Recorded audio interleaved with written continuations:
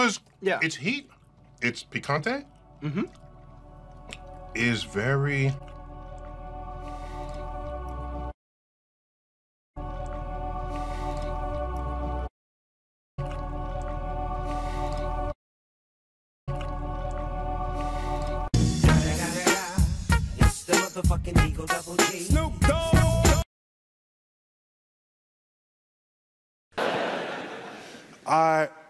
My energy for communicating science derives from the research that I do. The research for me is thrilling. The press reports the results of research, which for some projects can take many, many years. So if you want to become a scientist, you have to learn to love the questions just as much as the answer, because in fact, in some cases, you don't even get to an answer. You find out you're, you're, you're, you're, you're navigating the wrong path. So the people who say, oh, gra- a graduate school is a pay, I can't, uh, that's, that is science. What you're doing as a graduate student is becoming a research scientist, and that's what you do. You work long hours, you're in the lab, you occasionally forego personal hygiene. You know, there's, this is what that is, okay? I bet you Darwin and Newton did not smell very good, all right, is my guess, okay? Newton, while he is discovering calculus, all right, he's probably not saying, oh, I need a shower about now. No, he's pretty focused doing what he's doing, all right? And so, so that's where I derive my energy to share the passion. Now, I would do so no matter what. But there's a more important reason for doing it. And that is most pure research in the sciences that goes on in America today, that's not product driven, goes on at universities, and the source of those monies are from public based, tax based funding agencies. So, collectively, we pay taxes to the country's portfolio of spending, some of which funds the science that's conducted by scientists.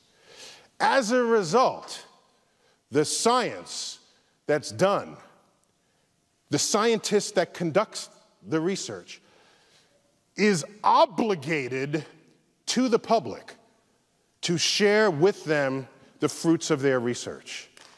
The public paid for it. And I submit to you that there was an era before that was taken seriously. There's an era where the scientists in the lab would say, the press is beneath me. I have, they'll probably get my story wrong. I don't want to have anything to do with them. Leave me alone. That happened only to the peril of the funding stream that went into those labs. And the first person to realize this in a big way was, in fact, Carl Sagan. Because what happened was, he would start bringing science to the public. He did it sort of first and best. And colleagues said, What, you're on the Tonight Show? You're a scientist. And you'd stoop to go on the Tonight. And he was criticized for this. Criticized. Meanwhile, the scientific community saw their budgets rise. And so in astrophysics, we learned earlier than in other fields the value, the general value of bringing the fruits of our research to the public. And I can tell you that I don't know if I'm biased, probably I am, but maybe a little bit is not. I think Hubble images are pretty cool. I think these pictures I showed you tonight are kind of awesome. I think, I think all of us at some point we look up and wonder what our place is in this universe. And a small fraction of the total population gets to actually call that their career.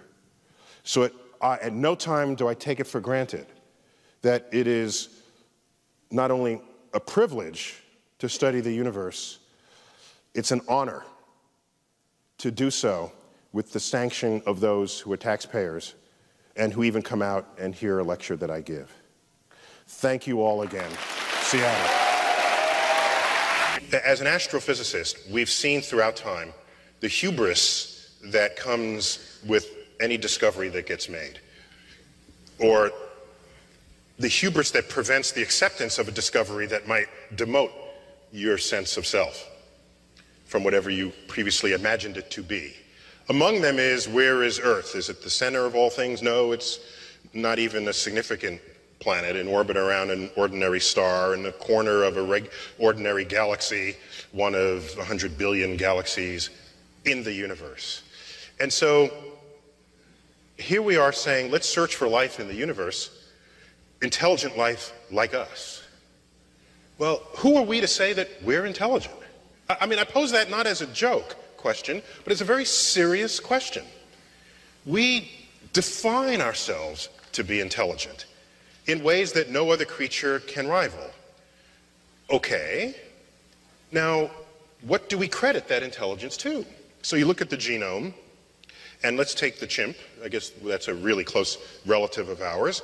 And we have, what is it, 90, high 90s percent identical, indistinguishable DNA. And the chimp does not build the Hubble telescope, and the chimp does not compose symphonies. So we must then declare that everything we say about us that is intelligent is found in that 1.5% difference in DNA. Is that, first, is that a fair statement to make? Okay. Let me invert that question. If the genetic difference between humans and chimps is that small, maybe the difference in our intelligence is also that small. Yeah, yeah. Maybe the difference between stacking boxes and reaching a banana, putting up an umbrella when it rains, whatever are these rudimentary things a chimp does that the primatologists roll them forward and boast about, which of course our toddlers can do, maybe the difference between that and the Hubble telescope is as small as that difference in DNA. Because I pose the question suppose there was another life form on Earth or elsewhere, that in that same sort of vector, that 1.5% difference we are to chimps, suppose they were 1.5% different from us. They would then roll the smartest of us in front of their hum- humatologists and say, Hawking, there's Hawking. Oh, this one is slightly smarter than the rest of them because he can do astrophysics calculations in his head. like little Timmy over here. So I wonder if we're just blithering idiots in the presence of even a trivially smarter species than us. So therefore, who are we to even assert that number one, we are intelligent and we're looking for others at least as intelligent as us out there to talk to? By the way, is there any other species on Earth that we can talk to? Can, can we have a conversation with a chimp? That has nearly identical DNA, and I don't think we can actually say, hey, what movie do you want to see tonight? But you don't have that conversation with a chimp. Yet somehow we believe, we want to believe, that an alien on another planet that's not even based on DNA, and even if it is, it's not nothing like us, that we could communicate with it. Hmm. Yeah. I'm screaming at you, I'm sorry. I'm Well, just- I find it hard to argue against that possibility. Meaning, Meaning, you look at our computing power today and you say, I have the power to program a world inside of a computer. Well, imagine in the future where you have even more power than that, and you can create characters that have, for example, free will or their own perception of free will. So this is a world, and I program in the laws that govern that world. That world will have its own laws of physics and chemistry and biology. Now you're a character in that world and you think you have free will and you say, I want to invent a computer. So you do. Hey, I want to create a world in my computer. And then that world creates a world in its computer. And then you have simulations all the way down. So now you lay out all these universes and throw a dart. Which of these universes are you most likely to hit? The original one that started it, or the countless simulations, the daughter simulations that uh, unfolded thereafter? You're going to hit a sim- you're going to hit one of the simulations. So statistically, based on that argument, which first appeared by a, a philosopher from Oxford named Nick Bostrom back in the 1990s, right when computers were becoming real enough to think this through, um, it's uh, it's hard to argue against the possibility that all of us are not just the creation of some kid in a parent's basement programming up a world for their own entertainment. And then every time something weird happens in the world, some disruptive leader takes charge. And I wonder if that programmer just got bored and had to stir the pot. So they throw somebody in there just to, just to, for their own entertainment. For me, that's some of the best evidence that we live in a simulation. Because this happens every time uh, there's peace and tranquility in the world. But if I don't want the religious person in the lab telling me that God is responsible for what it is they cannot discover. Because look at the hubris of that. You're in the lab and you say, I don't know how this works. And not only that, no one alive on earth knows how this works. And not only that, no one who will ever be born will know how this works.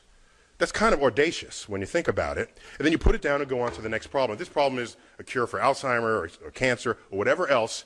I don't want them in the science classroom. And so the issue is simply about progress and discovery. And in my recent forays into Washington, well, I've been closer to a community of Republicans than I have ever been in my life because I grew up in New York City. And in New York City, it's, I think that person is Republican back there. You see? The, no, not that one, the one behind that person. Yeah, that's a Republican.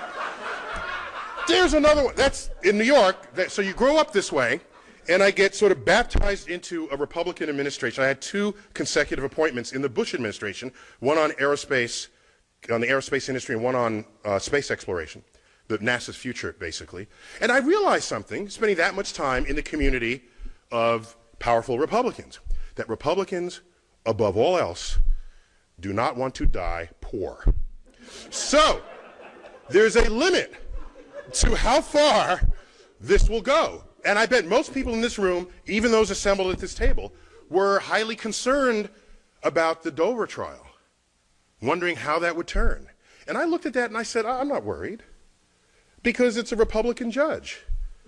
And in the end, if you put people who are not making discoveries in the science classroom, that is the end of the foundation of your future economy. And so I had a little more confidence than others did because of this uh, uh, sensitivity to the, the money aspect of it. But we all know tomorrow's economies will be founded on, uh, on, on innovations in science and technology, and of course that gets cut short if uh, we lose our civilization, as what happened in Islam in 1100. And the last thought I'll leave you with, which concerns me greatly, if you do the math, okay? You know, just look, you look at all the Nobel Prize winners there ever were, some even in this room, and ask how many were Muslim. And it's like one, maybe two.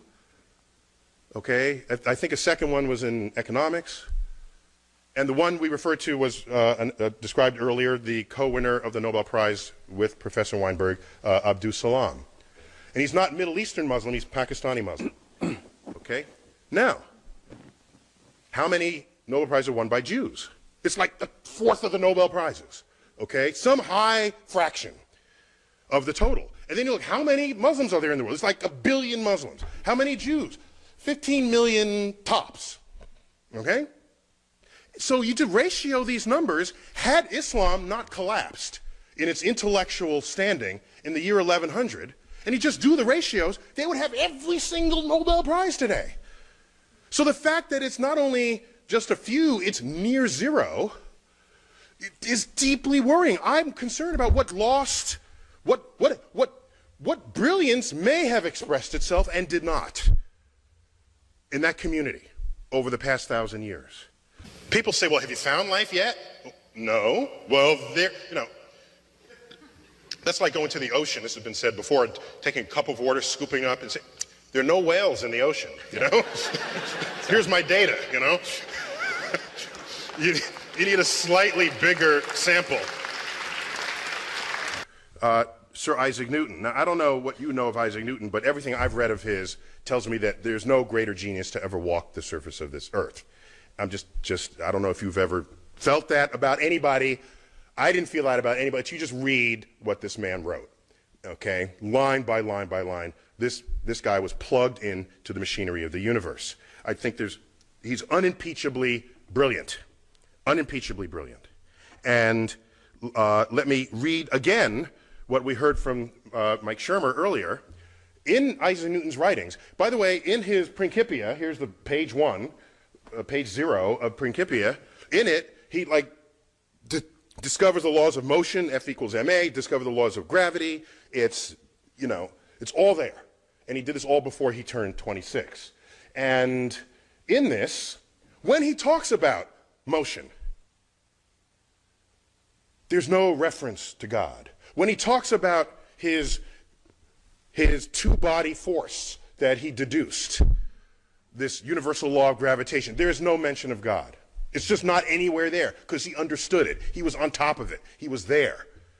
Even though the understanding of the motions of the planets before he came along was given unto God because nobody understood it, or nobody understood well enough to really believe that they had a full predictive handle on it in the way the universal law of gravitation supplied. And so what you have is Isaac Newton abandoning reference to God until he realizes that if all you do is calculate the two body problem, here we have like the moon and earth. Yes, he's got that calculated. Now you have the sun and the earth. You got that. But wait a minute, now the earth and the moon go around the sun, and sometimes we're close to Mars and sometimes we're not. And when it comes near Mars, there's a, there's a tug that's stronger there than in any other part in the orbit. And then it comes over here, and then Jupiter tugs. And it's all these mini tugs. And so he's got to do this two body problem for Earth, the moon, Earth, and the sun, Earth, moon, and Mars, Earth, moon, Mars, and Jupiter, and it becomes a rapidly complex problem. And he realizes that, in fact, applying this simple sort of approach to calculating the stability of the solar system, he finds he can't stabilize the solar system. He can't account for how we have stayed this way for as long as what was possibly necessary from the beginning of the universe. And so what does he say? He's, he's, he's at his limits. He's at his limits. And so you read pre but God is nowhere until you get to the general Scholium. And then he says the six primary planets. Back then there were six planets, okay? Now there's eight, in case you haven't been keeping track. Um, even if you thought there were nine, there are now eight. Uh, the six primary planets are revolved about the sun in circles concentric with the sun, and with motions directed towards the same parts and almost in the same plane. He's got the whole picture now, and he's trying to sort of account for that. But he can't just simply doing two body calculations. Certainly not without a computer or without a new kind of mathematics. He says, but it is not to be conceived. But is it not to be conceived that mere mechanical causes could give birth to so many regular motions? This most beautiful system of the sun, planets, and comets could only proceed from the counsel and dominion of an intelligent and powerful being. This is Isaac Newton invoking intelligent design at the limits of his knowledge. And I want to put on the table the fact that you have school systems wanting to put intelligent design into the classroom, but you also have the most brilliant people who ever walked this earth doing the same thing. And so the pro- it's, so it's a deeper challenge than simply educating the public. It's deeper than, as you know by the books written by our scientific colleagues that do, that do take these, these, these deeply resonant and charitable positions towards their religious beliefs. Maybe the real question here uh, let me back up for a moment. You know, the, we've all seen the data. 40%, there's 90 whatever percent of the West or the American public believes in a personal God that responds to their prayers. And then you ask, what is that percentage for scientists? Averaged over disciplines, it's about 40%. And then you say, how about the elite scientists, members of the National Academy of Sciences? An article on that, those data recently in Nature, it said 85% of the National Academy reject a personal God and then they compare it to 90% of the public. You know, that's not the story there. They missed the story. The, the story, what that article should have said is, how come this number isn't zero? That's the story. Okay? So, my esteemed colleague here, uh, uh, uh,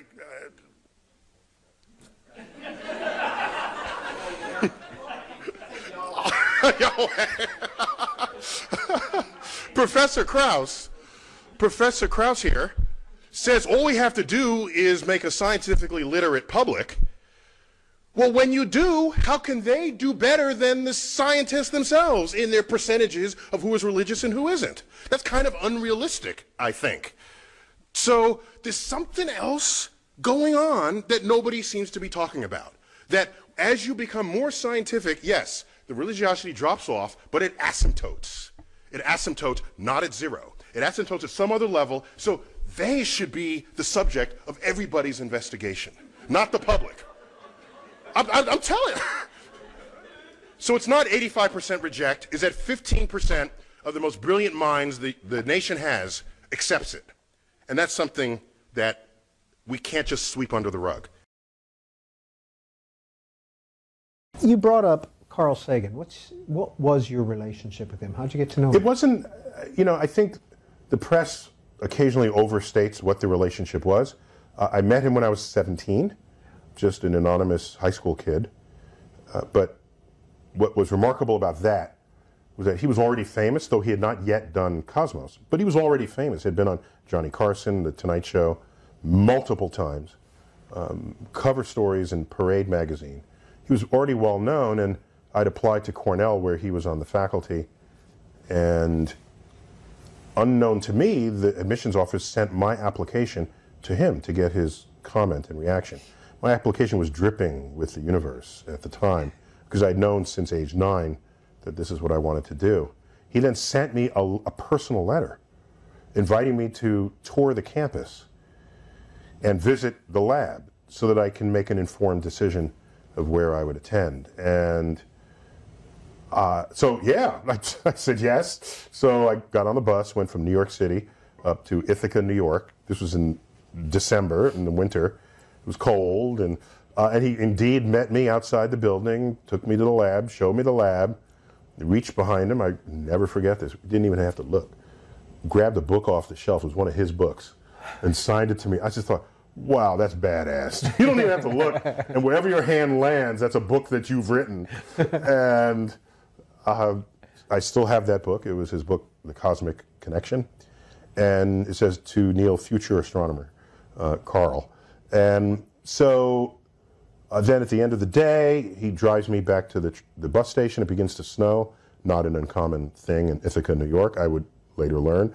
And then he says, mm, here's my home phone. If the, if the bus can't get through, just call. You can spend the night with my family. And I'm thinking, I'm just like nobody from nowhere. And I, I remember distinctly thinking, if I'm ever remotely as famous as Carl Sagan, then I will have a duty and obligation to treat students with this level of kindness and generosity that he had exhibited with me. The Pope came out just a few news cycles ago uh, saying what I thought were quite um, forward thinking things about the role of science and discovery and the role of Catholicism relative to it. I think a lot of that had already existed in some way in Catholic doctrine, um, but the, the press made a very big deal of this and yes. did you have a reaction at the time? Well, I think they made a bigger deal than necessary. I mean, Pope, Pope John Paul II said exactly the same thing. Yeah. And Benedict was not quite so vocal about it, but but but he didn't didn't. Uh, so they're there in some there. in some way. Um, they, they they have no problem with evolution, and and mm-hmm. it made that Pius the Twelfth actually didn't didn't either. Um, but because what we did, I was on a panel for the National sorry for I was on a panel for the National Academy of Sciences to create a document, a committee, to create a document titled Evolution versus Creationism. And it was a document for educators, resources. Here's how you teach it. Here's how you can show where one where creationism, religious creationism fails and how biological evolution succeeds. We made great efforts to create a, an appendix in the back that listed every single religious organization that was just fine with evolution. And there's like a council of bishops, or there's some yeah. organizations out there. So I, I want to pose a question back to you. That exercise of making this document is not telling people to not be religious. It's saying, here's evolution and it is objectively true, fold it into your religion or not, but this is all we're trying to tell you to do. Whereas other things you've done professionally, God Delusion and others, are are arguing against religion entirely. Whereas our document just said, here are religious organizations, they're with us on this. Yeah. Uh, that's a very important thing to do because an enormous number of people actually. They're influential. And, and, yes, but lo lots of people think that it, it, that in order to believe in evolution, you've got to give up your, your religion. And their pastors, their priests, bear responsibility for that mm-hmm. because, because and so it, it is a very important message to get out there. Uh, I want sometimes I feel a little bit unsatisfied by that. Um, I think that there is a, something deeply unscientific about religion, mm-hmm. and it, it, There's deeply un- something deeply unscientific about Van Gogh's Starry Night. yeah, no, That- that- but I don't. that's yes, that's different. That mm-hmm. that doesn't that Well, doesn't. that's why that sentence doesn't come out of my mouth. it- uh, uh, the, the the thing that's deeply unscientific about religion is that it's no, all right. Let's not say unscientific. It is a scientific theory that there is a designer of the universe. It's not something outside science. It affects your scientific view of the, of the universe, if you think if you think that there is. And having said that, it is important to disabuse people of the of the illusion that you've got to give up your religion if you're if you're um, if you take up evolution. That, however, has a paradoxical upside for me. If people have been told by their uh, pastors that if you accept evolution, you've got to give up your religion, we can definitely prove evolution is true. I want them to give up their religion. And so if I can if I can use evolution to get in there as, as a wedge and say, all your life you've been told that the moment you accept evolution, your religion is down the drain. I want that to happen. Um, and so You say that almost diabolically.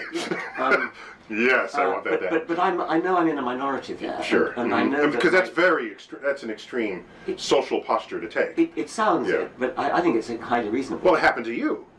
yes. You you converted, if we can call it Yes. that, after you learned Yes. Darwin. So you, you see the paradox I'm, I'm raising. That, Yes, I do. That, that if, if, if people like you and Eugenie Scott uh, manage to convince people that there's absolutely no incompatibility between, then I've lost my secret weapon, so to speak. Okay, I I didn't say there was no that.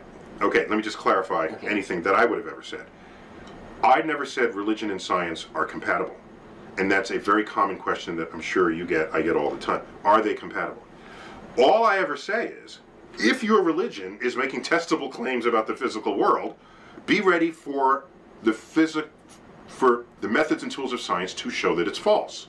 If you're not ready for that, then pick another religion or you know move to an island. But if you're going to make testable claims, we're going to be all up in those claims. And the history of that exercise Yes. is one where science wins every Every time. single time. Every single time. If you look at the chemical ingredients of life itself, uh, you remember from biology class, we're mostly water. And good old water is H2O, two hydrogens, one oxygen. And if you could look at the sort of the element budget of life, hydrogen is number one, as expressed in the water molecule. The number two in the human body is oxygen, turns out. Number three in the human body is carbon. Four is nitrogen. Five, you find on all lists, is other. Okay. now, if you go to the universe, that's the O on the periodic table. You didn't know that? that's not for oxygen, it's for other. Um, so, you go into the universe, number one ingredient in the universe is hydrogen. That was true in life. Number two ingredient in the universe is helium. We don't have that one. Yeah, it doesn't- no. doesn't like but, anybody. No, how come? Well, because helium is chemically inert. You can't do anything with it even if you wanted. You can inhale it, okay? And sound like Mickey Mouse, yes. Next in the universe is oxygen. Next, carbon. Next, other. Thank you, in the third row there. So, actually, that was the second row. They must be related to the second row here. We are one for one matchup with the most abundant ingredients in the universe. Of these, carbon is the most chemically fertile element in the entire periodic table. You can make more kinds of molecules with carbon than all other molecules combined. So, if you were going to experiment through the forces of nature with complex chemistry, and you had to pick an element to base it on, carbon is your man. Or your woman, however that goes. Okay? So, what I'm saying is, given the given the what carbon is capable of doing, perhaps we shouldn't be so surprised that there's life because we are carbon based life. We're just another one of the things carbon has rolled up its sleeve. Maybe life is inevitable given the abundance of carbon and oxygen and nitrogen and hydrogen in the universe. I'm Try, gonna try to invert that view. Otherwise, you're left thinking, hey, we're special. You know how, you know, I would give you right to say you're special? If life on Earth were made of an isotope of bismuth. that stuff is nowhere in the, in the cosmos. and then we're made of it, we're special. Okay? But if we're the most common ingredients of the ingredients of the, of the matter that we know and love, you don't have an argument. One of the things we know from research in psychology, as well as just practical matters in the conducting of scientific experiments, is that one of the lowest forms of evidence you could possibly invoke is eyewitness testimony. Which is odd because it's one of the highest forms of evidence in the court of law, which disturbs me greatly. Mm-hmm. So if you, co- if you come from a lab to a science conference and say, this is true, we say, how do you know this? Because I saw it. Well, that's really the end of your talk. And you just leave. And then we say, come back when you have a chart recorder or you have, to just give me something that does not have to flow through your senses. Because your senses is some of the worst data-taking devices that exist.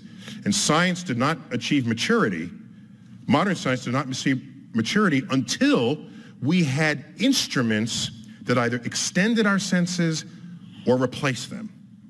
And Galileo, it's not an accident that we have modern science as I've described it, uh, experiment, verification, this, these tactics, these methods and tools began with Galileo and Francis Bacon, and Galileo was around 1600. That was the invention in that period of the microscope and the telescope.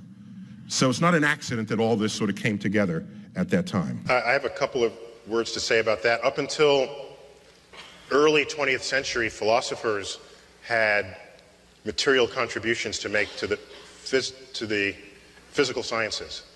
Uh, pretty much after quantum mechanics, remember the philosopher is the would-be scientist but without a laboratory, right?